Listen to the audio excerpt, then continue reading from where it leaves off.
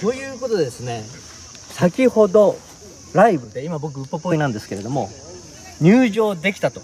喜んでたのですが、ちょっと今日一緒にいる方は皆さん向こうにです映んないようになってるんですけれども、このウポポイの中に入ったらですね、僕にぴったりくっついてくる人たちがいると、これ何なんだろうなと思ったらですね、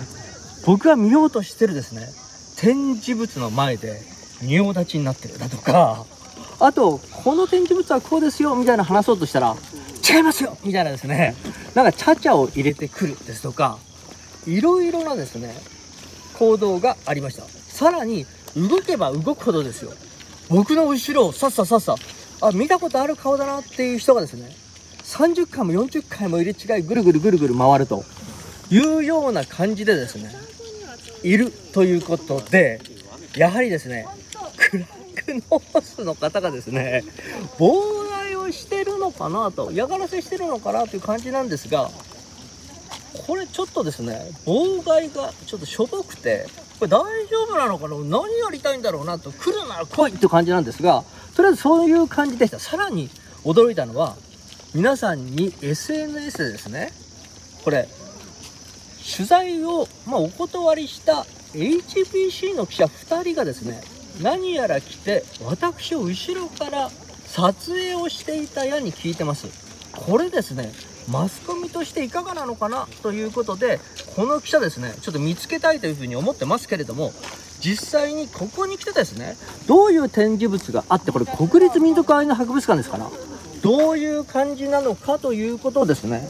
言うのもですね、妨害をする方たちがいると。さらにアイヌは本当に先住民族なのかと、アイヌいないなんて言ってませんから、アイヌ民族というものは本当に北海道に先住していたのかというような発言も、うわ、違うんだみたいなですね、これ言論封鎖ですよね。さらに、そんなことがまかり通っていいはずがないんですけど、まかり通そうとするんですよ。これ本当に驚きを禁じえませんけれども、これからですね、私、違う場所で、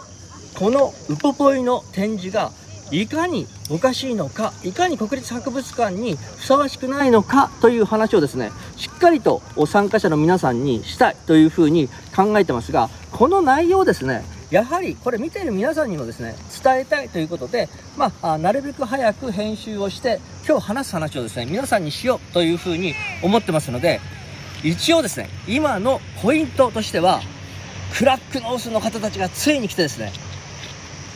もう妨害活動してるんだということと、HBC はクソだと。この2点をですね、皆さんに伝えてライブ配信を終わりたいと思います。ということで、この詳しいその勉強会の内容は後ほど皆さんにお知らせします。ありがとうございました。イエス行きましょう。